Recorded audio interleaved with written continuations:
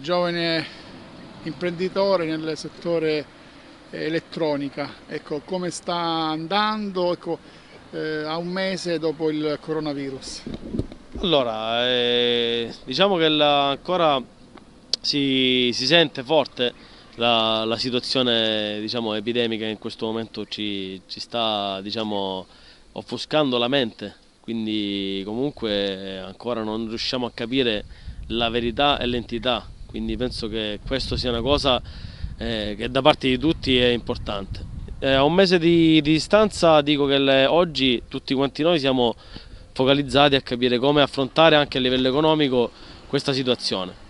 La situazione a livello economico ci rendiamo conto che eh, secondo me rispetto anche agli altri paesi siamo molto indietro, siamo indietro sul, sulla, sulla, sulla medicina, sugli ospedali, siamo indietro sull'affrontare un'emergenza, perché è come una famiglia che non è riuscita a mettere da parte qualcosa per affrontare i problemi, è la stessa cosa è il nostro Stato.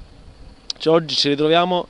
ad avere una situazione dove lo Stato non è pronto ad avere il salvadanaio per tutelare né noi né i lavoratori né chi purtroppo non è, non è registrato eh, ed è a nero perché parliamoci chiaro, le tasse sono alte forse tantissime aziende non hanno potuto registrare e tantissime persone si trovano in grande difficoltà. E questo è un dato molto triste e sicuramente come tante cose ci ha fatto rendere conto questo virus ci farà rendere conto quanto sarà importante